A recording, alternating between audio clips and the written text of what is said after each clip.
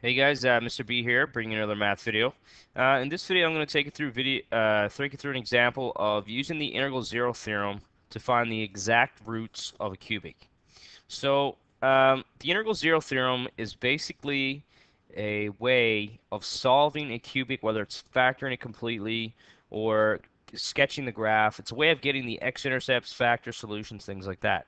So the way we do it is we pick on this little number at the end. So this 6. So this 6 actually gives us some possible factors of it.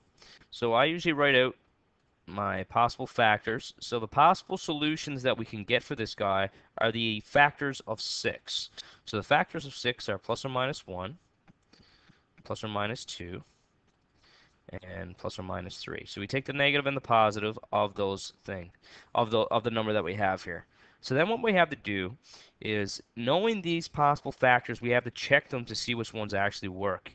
So we take the numbers, negative 1, and then um, let me see, positive 1, p of negative 2,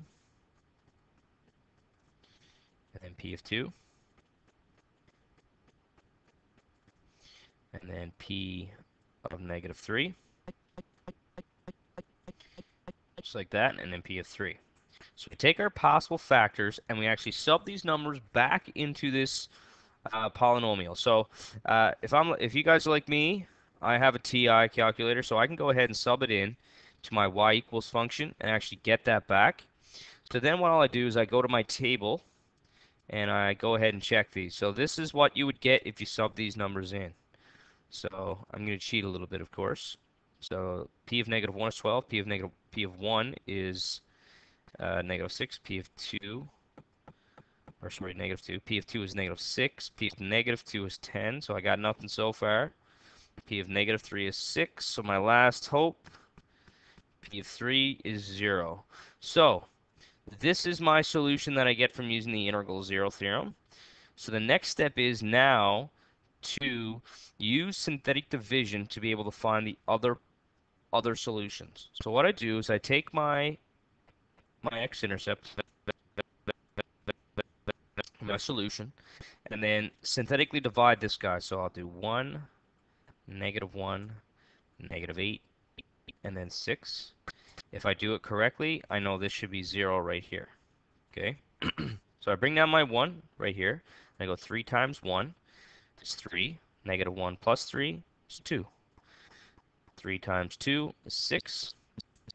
Negative 8 time, or negative 8 plus 6 is negative 2. 3 times negative 2 is negative 6. Negative 6 plus 6 is 0. So we're, so we're in business. That works. So now what we need to do is we need to look at this quadratic. So that's x squared plus 2x minus 2 is equal to 0. So this is a quadratic that does not factor. Generally, when we say exact roots in a question, that means that you're going to going to have to use quad form and it's going to have to be reduced down. So quadratic formula is negative b plus or minus square root b squared minus 4ac all divided by 2a.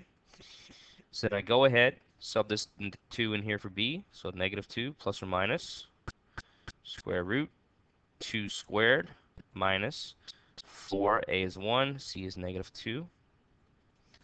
All divided by 2 times 1, so it's 2. So I get negative 2 plus or minus. So 2, uh, 2 squared minus this guy, so that's going to be um, 12 underneath. All divided by 2. So then I got to break up this root. I'm running out of space here. So negative 2 plus or minus.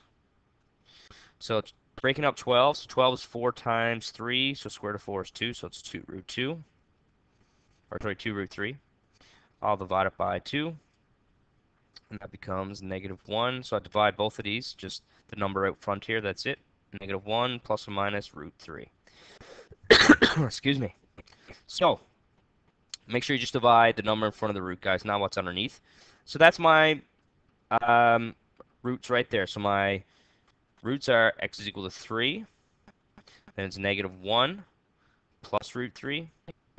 And negative 1 minus root 3. All right, guys, there it is. That's how you use the integral zero theorem to find the exact roots of a polynomial. And uh, the integral zero theorem is very useful for solving polynomials, for sketching graphs and things like that. So uh, thanks for watching this video. If you find this helpful, share it with your friends, and I'll see you guys in class. Thanks for watching.